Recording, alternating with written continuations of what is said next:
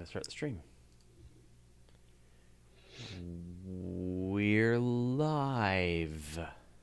Hello, world.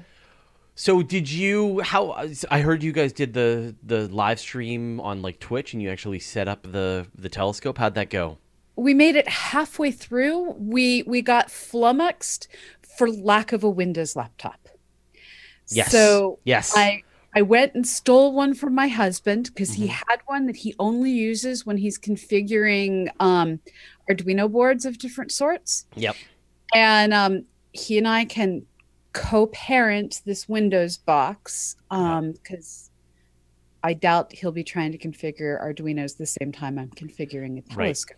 Well, so did you figure out how you have to like connect to the telescope's own Wi-Fi signal, and then install that software to actually So, control I the? saw it. We're going to try it live on Sunday. So okay. Sundays are going to become CosmoQuest Astronomy Photometry Learning Hour. I got I I did figure it out. So I you know if I had my laptop in front of me, I could make that telescope move. So I don't know if we have the exact same mount. I suspect we might. Yeah. Did you notice that there's the North Star scope through the polar axis? It's super exciting. You don't actually need an eyepiece. You just look through the mount. You look through the mount to see the North Star to do like a rough to do a rough polar alignment. Okay, cool. Yeah. You should actually be able to get it good enough that you only need to use the CCD. Right. The, so I actually so I did kind of accessorize. Yeah, So- I can see. Yeah, so I got a uh, I got a eyepiece. Hold on. Which I'm sure Dustin's going to be mad that I spent money, but come on. I'm sure I'm going to pop this eyepiece right out.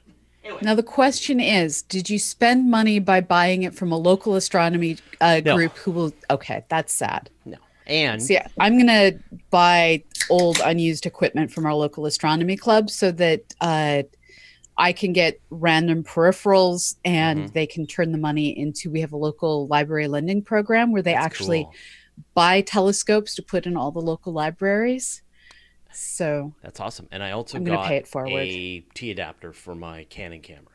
I need to do that. Yeah. So so now I can do visual observing, just looking through the eyepiece. I can do hooking up the camera, and then, but then we've got the very complicated um,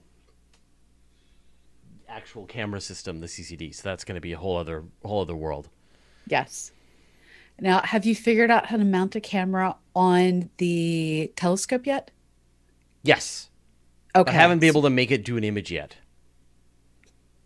So Okay. Yeah. I was able to bring up the feed from the camera to my laptop. I'm going to say hi to a bunch of people.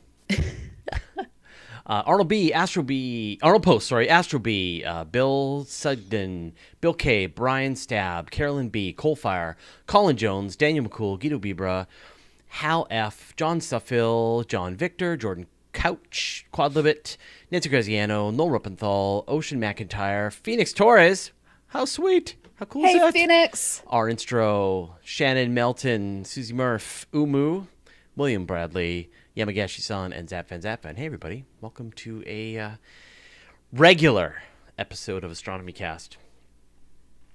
Uh, so, if you are wondering what it is on Earth you have stumbled into, we're going to be doing a uh, live episode of Astronomy Cast, and then we're going to stick around and answer your questions about space and or astronomy. But I suspect what's going to happen is we're going to have a big conversation about your recommendations of books, um, for, of science fiction books, and I think we're going to do. So, some people are having some problems hearing. Is that right? That's weird. Can you hear me okay? Or is this both of us that you're having problems on?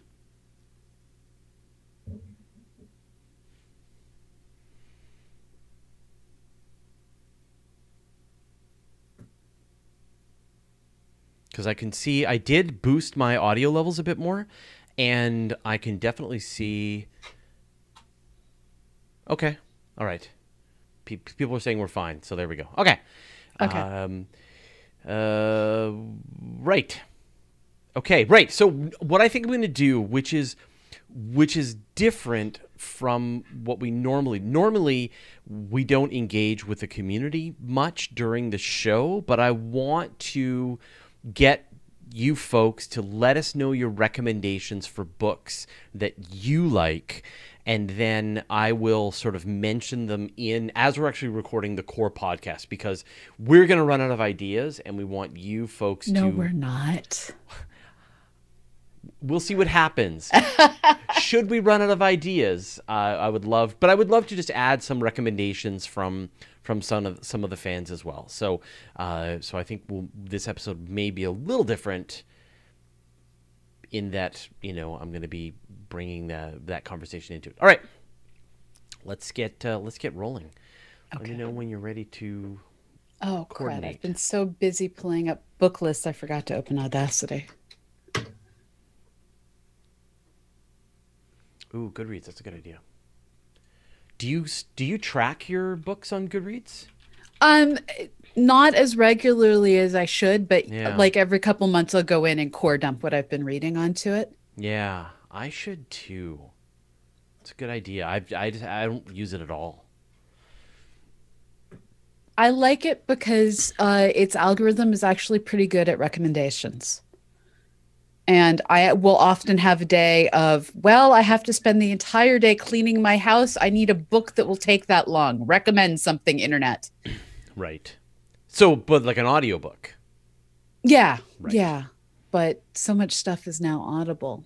Um, Yes. I do read on Kindle. I do read on paper. Mhm. Um, and I still have wet hair. So sorry, internet. You get to see me having a Friday. All right. Say when. I'm ready. I'm pressing record. It's recording. The I have also look- pressed okay. record. Hello, Chad. Hi, Chad. Astronomy Cast, episode 469 Modern Sci Fi for the Science Lover. Welcome to Astronomy Cast, our weekly facts based journey through the cosmos, where we help you understand not only what we know, but how we know what we know. My name is Fraser Cain. I'm the publisher of Universe Today. With me, as always, is Dr. Pamela Gay, the Director of Technology and Citizen Science at the Astronomical Society of the Pacific and the Director of CosmoQuest. Hey, Pamela, how you doing? I'm doing well. How are you doing, Fraser?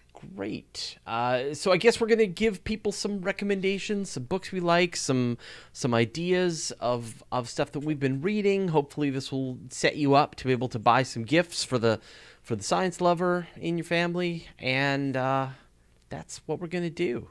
Yes, I the way I look at it is currently our world is quite literally if you're in California on fire. Oh yes. and and given everything that's going on, sometimes it's just nice to completely escape into another reality. And uh, my alternate realities of choice tend to be science fiction, fantasy, and urban fantasy. So we're going to take you down those rides um, and talk about the ones that actually have like fairly reasonable science hmm or are good enough that you should read them anyways. Sounds good. Now, how far back do we want to go? Like you said, kind of modern sci-fi. You know, but I'd- I, I think I'd we'll like to stay- about that.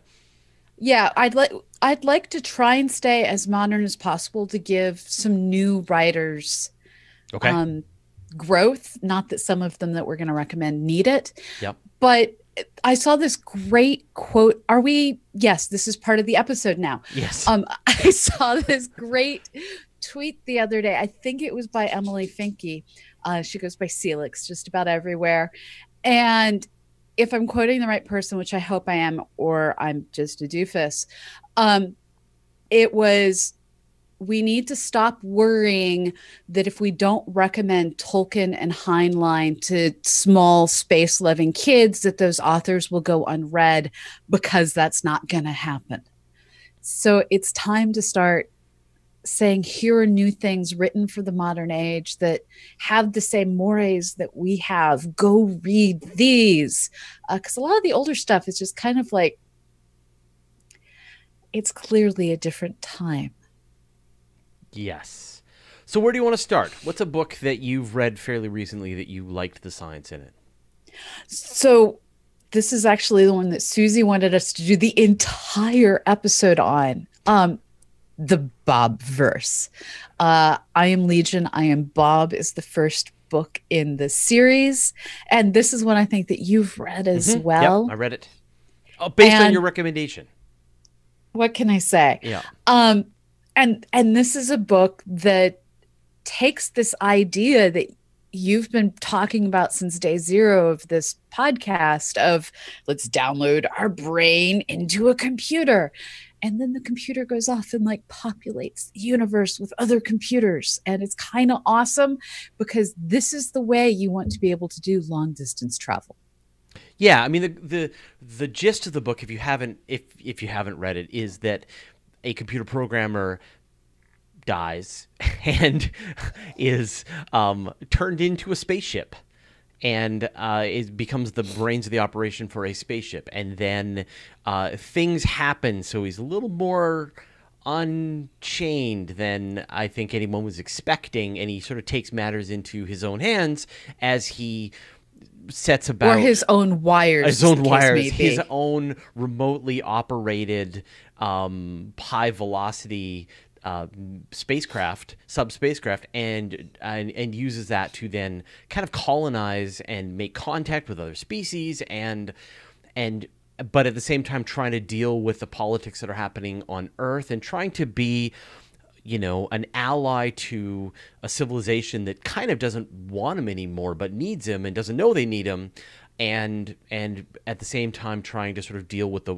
the wider universe. And I totally agree. I really enjoyed the just the ideas of this kind of exponential thinking about what does it mean to be to have access to the raw equipment, the raw facilities of of a solar system to make more copies of yourself and what does it mean kind of philosophically to have more copies of yourself out there in in the world and how do you talk to yourself when you're talking to your another version of you and so on so i really enjoyed it i've only read the first one though you've gone further I've read all of them. Mm-hmm. How have you not read all of them? i don't know someone made made me put together a telescope uh I put together yeah. a telescope. yeah It's right there. yeah yeah I'll, I'll i'll i'll catch up i'll catch Up. i've read a bunch that you haven't read so so careful there Okay, so what have you read? well so but can you finish uh, but just like how does the rest of the series go is it Spoilers. no don't spoil So so bottom line, it has some really cool ideas in it. This this idea of basically being a factory ship that you can reproduce, redo, reprogram, recreate, and upgrade your own body. Who doesn't want to be able to upgrade their own body occasionally? Um, really cool ideas in it. Totally worth uh, totally worth the download and the read. Yeah. Um, okay, well, then the one that I'm going to recommend is Seveneves, which is by Neal Stephenson. And Not Uh, so much the space exploration. Sorry, I don't understand.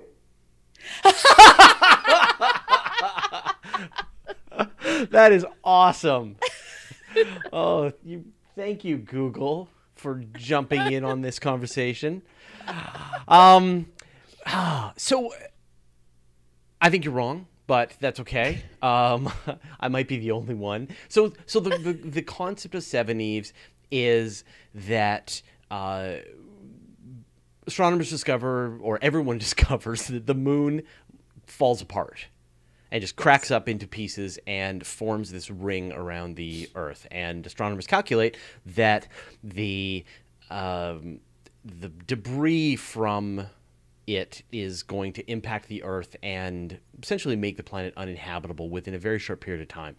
And the what they do is it's this race to essentially save as much of humanity as possible by going out into orbit to avoid as the atmosphere gets superheated and, and everybody dies. And it's the book is broken up into two halves. The first half being leading up to leading up to and sort of the culmination of the event, and then the second part is sort of thousands of years later.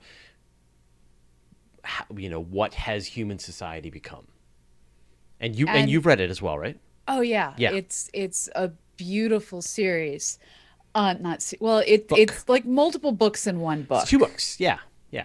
And a lot of Um, people like half of it and don't like the other half.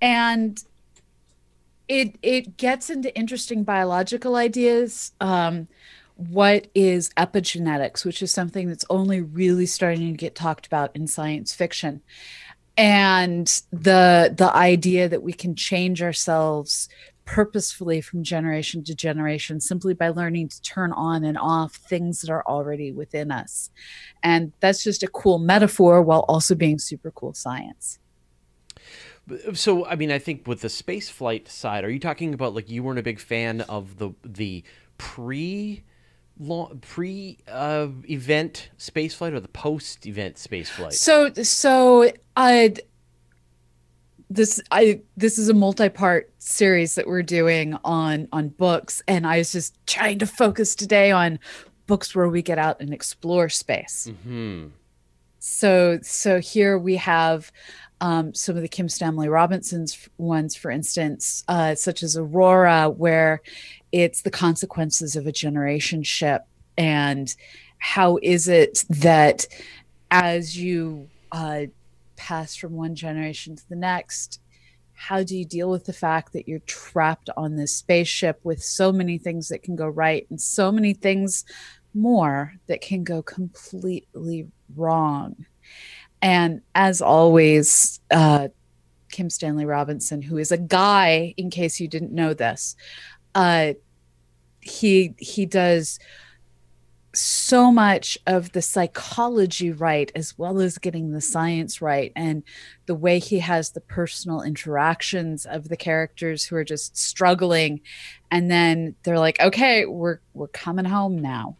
And all of the technologies that they have to figure out and how much the world they're coming back to has changed. Um, and it gets into the idea that you and so many others love of accelerating things using giant lasers and then trying to get a hold of earth to decelerate using giant lasers Right, right. Um, uh, yeah, I haven't uh, I haven't read that one. I've read all of Kim Stanley Robinson, and so the other Kim Stanley Robinsons. I mean, these aren't uh, space travel, but these are really realistic stories about the colonization, terraforming of Mars. There's the sort of the three part series: the the green Mars, no, red Mars, green Mars, blue Mars, red Mars, blue Mars, blue Mars, green Mars. i never remember the order Yeah, of blue yeah. and green Yeah, so right. Um, but the, you know about sort of the first colonists that make their way to Mars and attempt to sort of make a habit, you know, make the place habitable, moving to actually starting to terraform the planet in sort of the far future when it is uh, much much uh, sort of a much more habitable world and the the level of detail. I mean, if you're you can just see Elon Musk read that book, read those books like five times. It was just like, yes, this is what we're doing, and uh, and a lot of his ideas are are are set on that. Uh, so I think you know we have to give props to The Martian, which is still got to be one of the most sort of accurate and realistic representations of what it's going to be like to explore space, to get out there on other worlds, and and sort of what are the intricacies? I mean, the level of math, the computer programs that Andy Weir created to simulate these this transportation from world to world is just is crazy.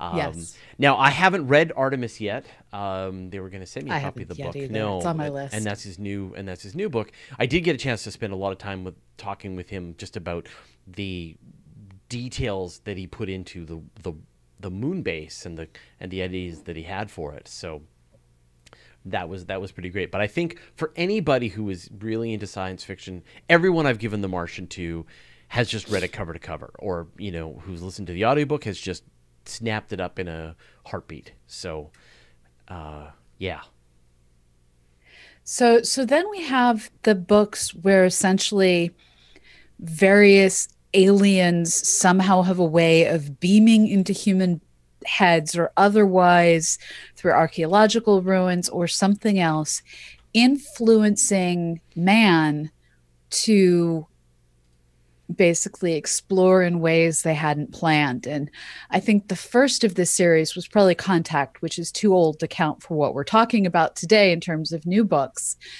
But I think the most famous of the new ones in this series is the Expanse series, which is yes, it's a TV show. I know it's a TV show. You're was welcome to love the TV show. It was a book first. Go read the books. He's still writing new ones. The universe is still expanding. Uh, well, I mean, it's two writers. James S. A. Corey is two people. I did not. You didn't know that? that. Yeah, when now I mm. yes. When you talk to James S. A. Corey, you are actually talking to two people, which has happened to me and is hilarious. because you know, because you never know which one it is, and you just get to eye this, and you know, and so, but but they act as one. that's awesome. Yeah, yeah, I think it's a great it's a great idea to to do that. I mean, you don't get the credit for being the writer of this really wildly successful sci-fi series and and television show. I haven't read the books, but my dad's read the books, my wife's read the books, so clearly I'm in this bubble and you know, they're on the Kindle, they're ready to go, but And I actually like the books a lot more than the TV show, and I like the TV show. really Yeah. Hmm. So I, I I'm so nervous to give anything away cuz I know how many of you out there love the TV show. But it gets to the point where they even get to go beyond our own solar system. So go read the books, keep reading the books, read all the books.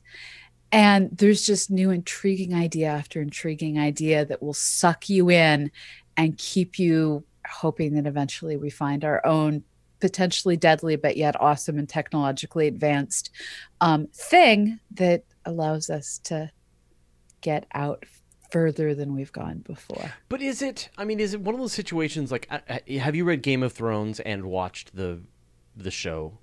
Have you Yeah. done both of those? I don't need to read any more Game of Thrones books. right? I'm done. It's okay. I the the TV show is plenty for me, and it's it's great, and it does the job. If you've read some Game of they they stretch on a little long. Yes. There's a lot of side plots that go on, but I understand that These the, books aren't like that. Yeah, that's These books are concise and clean and fast paced and suck you in and and read the books. You won't regret it. All right, all right. I will. Uh, I solemnly swear that I will read the books shortly. So so with Game of Thrones, I think it takes longer to read the first book than to watch the first season. Yes. Not true with these books. Yeah.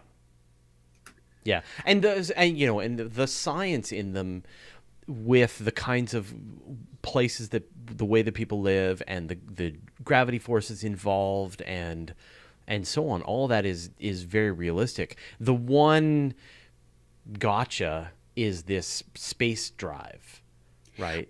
But they handle it well. We we made a magic space drive. Yeah. Now what? Right. That's all. Yeah. Yeah. And and I'm okay with occasionally making magical space drives. yeah, that's you know everyone gets that. I forget who's it was it Phil had that rule. Someone has the rule. I think Yeah, I think it's Phil has this rule that you get kind of one uh, magic space drive or one you know the equivalent of the magic space drive, and then you go from there. I like Old Man's War. I was gonna suggest that Yeah. next. Yeah, and did you hear that Netflix has picked it up for a TV series? I I did. And have you actually read his new book, The Collapsing Empire, which is a different universe? No. So so Well, let's talk about Old Man's War first, and then we'll go into. Okay. So so Old Man's War um the the basic premise is that our soldiers are the old people of earth who have um moved beyond their day-to-day lives and have been promised that they can be young if only they join the military. And they don't know what's going to happen. They simply know they will be made young again.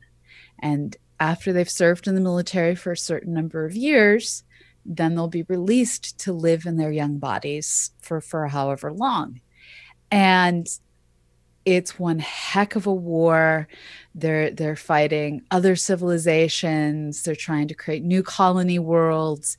The technology is on point. They use bioengineering as well. Um, it's got all the little check boxes and also takes into account things like it you have to break the universe somehow if you're going to go faster than the speed of light and their interesting way of breaking it Yes. is every time they make the jump from one point to another the universe splits Yeah. so every time you see someone it's actually a completely different person than the one you saw in that universe like before Yeah, it's it's it's very similar to like the Rick and Morty sort of multiple multiple universes idea. So they have this thing called the skip drive where they when they jump they are moved to the new position of a different version of the universe and Yeah. then the universe moves on from there. So they've literally disappeared from the old universe, discarded and now are in the in the new universe. And i think that that idea is is sort of is the larger symbolism for for what we do with old people that right that that this just this idea of it being discarded and not required anymore and just moving on to the next to the next place damn the consequences. And so i think that is uh, a really it's just a really great idea and you're just it's this you know if you've seen some rick and morty's there's some situations where they literally just gonna go well that's it for this universe let's, Yep. let's go somewhere else and, and try again because this one's all ruined And sometimes that's what you just need to do. Now, in Old Man's War, it's not quite that uh, useful a splitting of the universes because it's pretty much um, transparent to everyone that the universe is a new universe. It's you're still seeing the same people, you're still seeing the same consequences, but it's this intellectual knowledge that's just weird. yeah well and, and just like they don't really know how this thing works Yeah, which is yeah. just great like we don't know it works let's go to war because we have to and Yes. so let's just make this deal with the devil to to do that so now you're saying that that he's got a new universe that he's working on Yes. So this is uh, the interdependency is the name of the universe, the name of the series, and the collapsing empire is book one. It's it's fairly new, came out in March of this year. And in this particular series, you have uh, it goes to that idea of gates and tunnels and subspace that you're traveling through. And so people are slipping from one place to another through gates that have particular endpoints, particular beginning points. And once you accidentally fall out of subspace, they call it something different. Um, you're kind of stuck. And one of the problems that they're running into is they're finding that the gates are moving. And how do you deal with this? And how does this affect commerce? And thus the word collapsing falls into it right so it it has this whole inter necessit that's not a word. It has all of these different planets that rely on each other where this is the one that one kind of fruit comes from. This is the one that has this one other thing that it comes from. And it's very much like the EU food restrictions where champagne has to come from champagne. Uh in this case the unions the red the restrictions all are saying this can only come from this one place without special licensing agreements. So everything falls apart if you don't have the ability to get goods between these different worlds not all of which can fully support humans on their own. And it really speaks to a lot of our modern humans couldn't exist where they are on certain places in the earth with without all of the transport that we have now. So what happens if if those transportation mechanisms go away. So I've got a book that's a little older, um, which is back in the '70s, and that's by Joe Haldeman, and that's the Forever War. But I really like Yes. the way the space travel happens in this. So a lot of parallels with Old Man's War. You know, person signs up as a you know part of the military and joins this elite fighting force. But the thing that's kind of strange about it is that the way the space travel works, it's highly relativistic. So the Haldeman put in sort of did all these calculations for what would happen if you traveled at the at the speeds that would be required to be able to move from place to place. And what that means is that literally home you disconnect from where you came from by hundreds, thousands of years, and it totally distorts and kind of messes with just your idea of what does it mean to to be defending a world that has no even idea that you exist anymore and yet you're out there out on the front lines and you know the time to every time you move from front to front from from battlefield to battlefield time distorts heavily for the people back at home. So uh, highly recommend it. And they've done a couple more books as well but but i really enjoyed this this idea of like what are the implications of relativistic space travel for a society that sends people out doing this and and you see this getting used in uh, again a somewhat older book uh, orson scott cards and i know there's issues with orson scott card. In in orson scott card's enders series you you see this traveling fast enough puts you in a different aging pattern so that you're essentially skipping down the generations by traveling from world to world. And it deals with the consequences of that the redemption of that, which then harkens back to the old Jack Campbell books where you have your war hero who died, who turned out to have just been actually in stasis. And what are the consequences to bringing back your dead hero on a civilization? It turns out that civilizations don't deal so well with having to deal with the realities of their war heroes. What is? Uh, did you have some more? I have a couple of recommendations that have that have come in from the viewers in the chat that I just wanted to throw in as well. So, you know, I can neither confirm nor deny. Um, uh, So one other set of books to to bring forward is the uh, a live series. Well, it's the Generations uh, trilogy by Scott Sigler.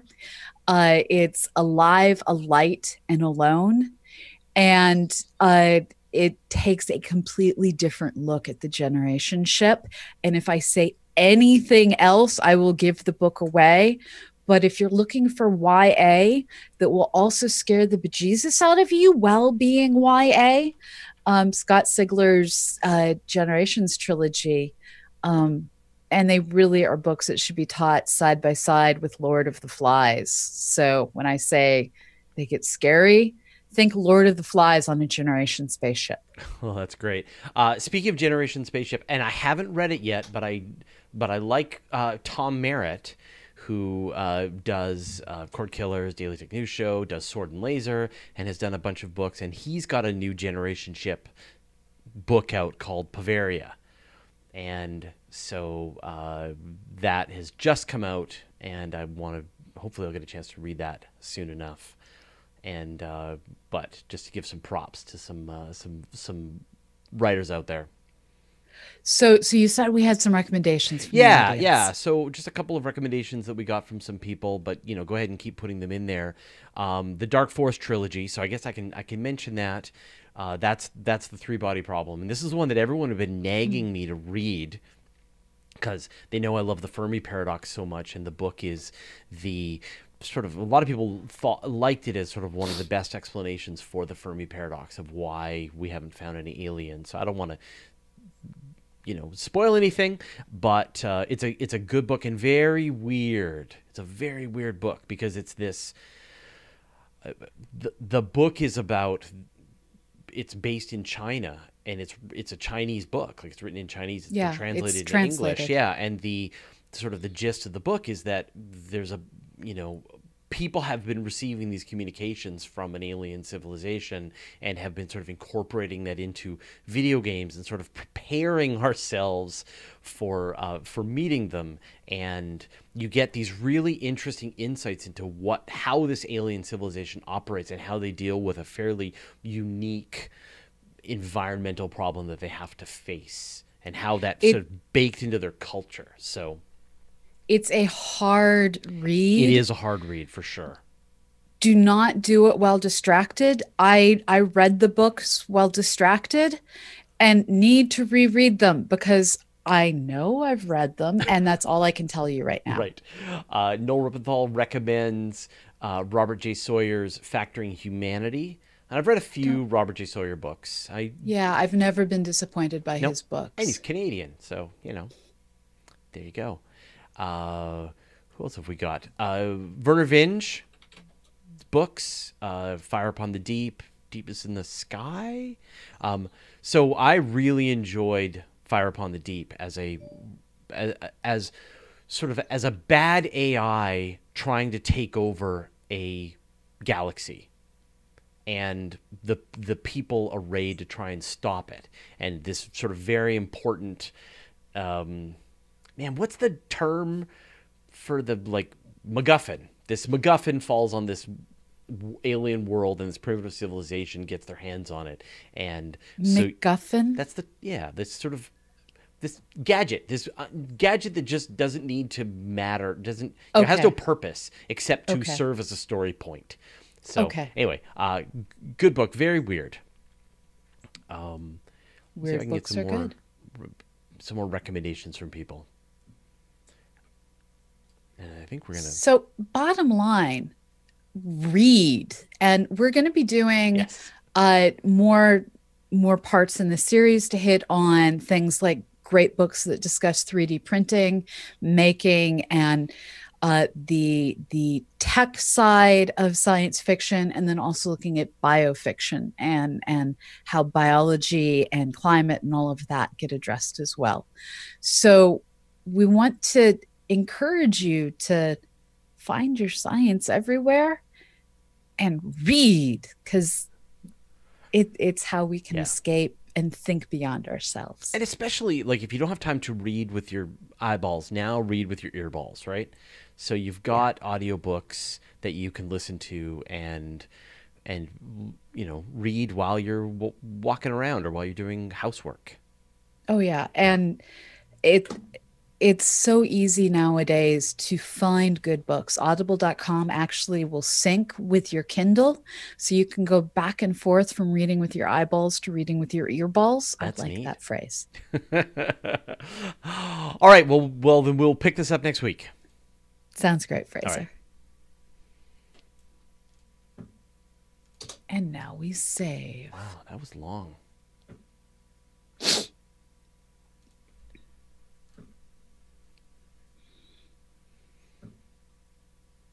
What number are we on? that was 469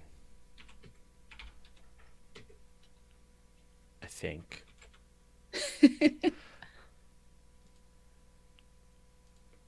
Yes. okay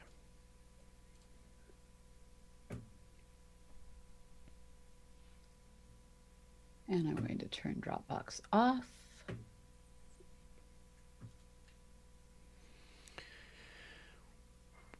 There are birds battling in my bird feeder. I can hear them behind me.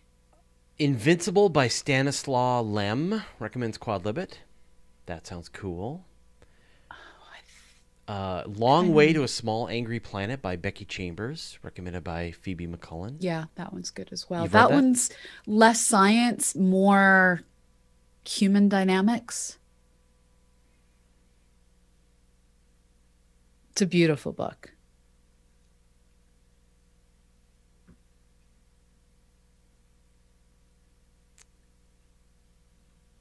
Let's see. Apologies. I'm just looking for any more recommendations.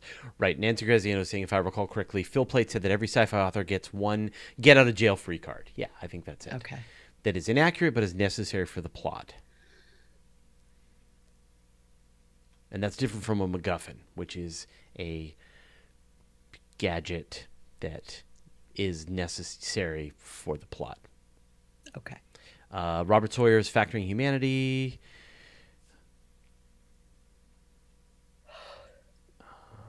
See, I hadn't read A Deepness in the Sky, so Arnstra is recommending that. Who's it by? It's by Vernor Vinge as well. So I read Fire Upon the Deep, but I haven't read A Deepness in the Sky. Noumenon by Lostetter. That sounds cool.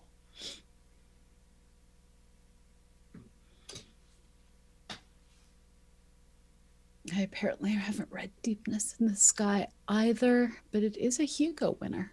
It's from 2009. John Morrison likes Anne McCaffrey's The Ship Who Sang. I haven't read that one. I've read piles of other Anne McCaffrey, most about mostly about people flying around on dragons, but Yeah. Mm-hmm. Giants Trilogy by James P. Hogan. Inherit the Stars, Gentle Giants of Ganymede, and Giant Star.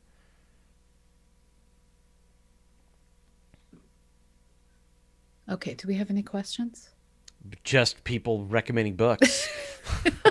okay.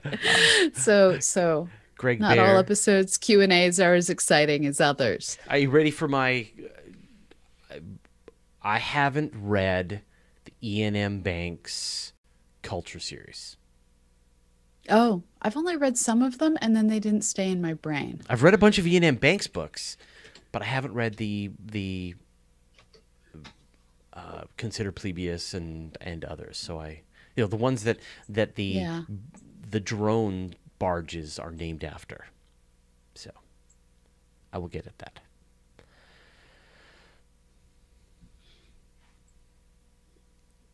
Jordan Couch wants to know: Could it be, as Paul Stamets, the great mycologist, suggests, that the universe itself is intelligent? I'll pass it on to you, Pamela. Is the universe itself intelligent? If it is, it's really dumb. I think that Sagan's quote about "we are the way that the universe perceives itself" is one of the kind of most meaningful. My statement holds either way.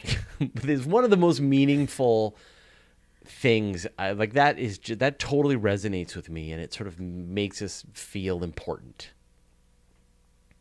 So now that we're doing the question and answers, I'm turning on my space heater because I like I'm trying to curl into myself because it's cold in here. Do it.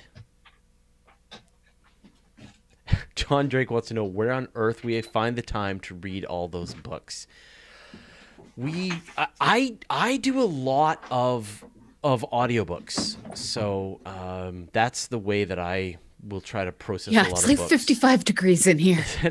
um, Yeah. I wanted to know how we find the time to read books. we don't have a lot of time. I so I am the queen of multitasking. Um, and I know that it's not as efficient in general, but there's some things that it doesn't deplete my efficiency on. So Saturdays is a day that I spend the whole day cleaning laundry, fish tanks, stuff like that. Um, and I'll usually listen to an entire book on a Saturday. Um, then anytime I'm on a bike exercising, anytime I'm walking to and from work, I'm I'm reading. driving. I you know driving chores going for walks. I've got people ask me what music i listen to. I don't listen to any music whatsoever. It's podcasts and audiobooks 100% of I- the time. I listen to music when I'm coding, um, and paying bills and things like that, where words are death. Um, I always have noise present, apparently, uh, but I also like try and set aside. And I fail at this a lot, but I try and set aside about 30 minutes before I go to bed to just read and I try not to read the news or BuzzFeed or any of those other petty addictions. Um, so that's when like comiXology and my comic books are my friends, and um, books that have only been rela- replaced, not replaced, released on Kindle or on paper. Um, so like I read all of the book burners, book one, um, one short story at a time, sitting in my chair with my dog on me. one of the things that i do is before i go to bed I will have one book going, and I try to get through about ten percent of the book a night before I go to bed. See, I'm not to be trusted with that. Because you I will I will read the whole book. right. No, for sure. And So this is where comic books and short stories are required because if if I limit myself to like one of the the paper, not the graphic novel com- compendiums, um, I'm safe. yeah, Where where I've been foiled lately is I've I've got a whole bunch of comic books through Humble Bundle and I haven't figured out how to get them onto my iPad rationally. So if anyone out there has solved this problem, I want to know. Humble Bundle lets you send all of your books to your Kindle. You just have to Up to 200 megabytes. Oh, but so the comic books are too big. Right. Yeah. Because I bought the previous Humble Bundle with a whole bunch of the sci-fi books. Oh yeah, s- and yeah, I them get to those all my- the time. Yeah, sent them to my Kindle. And they just Yeah. came out with another one. And I also bought a couple of their audiobooks, which is how I got a Yeah. whole pile of audiobooks piled up and ready to go. Um, so, but yeah, if they're too big, I use a piece of software called, um, oh, Catalyst. Hold on, let me see what it's called. So currently I'm looking at a future of downloading them to my Calibre. hard drive. It's called Calibre. So it's a book manager. So yeah, Calibre, Okay. Calib, you know, Calib BRE, and you. Uh, then you can plug. You can sort of upload all of your books into Calibre, and then you plug in your your Kindle into your computer, and then it tells you which ones are on the device and which ones aren't, and it lets you. You can maybe do this after the show. Uh, it lets you. It lets you manage your Kindle and, and put things on and off the, the, the Kindle. It's great. It's it's a Swiss Army knife for managing stuff on your on your Kindle. So the question comes, does it support Mobi format? Yes. Yeah, it supports Okay. Mobi. It supports uh, even PDFs. It'll convert them to Mobi files. Okay. so you can sort of set it to either, and it'll support EPUB, and it'll it'll sort of handle all that and put them all onto the uh, onto the book for you. Yeah, no, it's it's the it's the machine you wanted. Okay. Yep. Excellent. There you go. Done. Solved. Technical Okay. support. Yay. is ready here for you. Quad Libet is saying that you're going to do a uh, a tutorial on RimWorld. So I, you know, RimWorld is a game that I'm playing. I've been playing, had been playing a lot of. Now that they came up with, they moved into beta. They finally finished Alpha 18 and moved into beta. And it is like you are running this space colony and sort of micromanaging all these people to build farms and structures and defend against various attacks and environmental Is it based on the book? No. Okay. No, it's not based on any kind of book. So it's it's fun. It's a it's one of those sort of, you know, civilization just one more turn kind of games. Don't Uh, play Civ 6. Civ 6 is horrifying. I, I, I don't know if other people agree with you, but, um, but anyway, I don't, I, I but I'm done, quite a little bit. I've, I've finished playing RimWorld now, and now I've moved on to, uh, I'm playing Dark Souls, and uh, I'm gonna be, I'm playing some Fallout 4 survival mode. So, Cool. so don't, don't do this for me. Actually, there's a, there's a, a mod for Fallout 4 called Frost that just looks super fun, really hard, but I, it looks like a lot of fun. So that's what I'm going to probably be doing. Janelle Duncan wants to know how is the picture mas- matching going on Oh, on Image Detective. Mm-hmm. Um, today in the office, we were doing the uh, best worst matches that people had submitted. Um, so it's going well, and the ones that aren't are fabulously wrong. Uh, we won't make fun of you publicly, don't worry. Um, but but there's a lot of images, so folks, go online, do a few images. I need to get better at saying, "Hey, while you're watching this show, go do science." Um, so yeah.